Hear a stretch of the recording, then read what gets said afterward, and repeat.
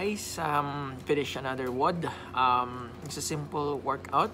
Actually, um, it's what I call a kargador workout uh, based on the um, plain old manual labor. Okay, uh, for time you you have to do as much rounds as possible or AMRAP of farm heavy farmers walks and flips okay so this workout I'm using 70 pound dumbbells each hand and a sandbag probably 70 kilos okay? And just flip it around okay? So concept of this is um, just uh, repeatedly doing uh, walking okay? Um, just um, using heavy stuff. This is ideal for those with um, very minimal equipment okay? So you can use uh, water jugs or anything heavy that can be lifted with two hands and sandbags or not not only strongman sandbags but also any kind of sandbag that can or any stuff that can be lifted and flipped. In this workout, I did the one kilometer run first, then the workout itself is 10 minutes.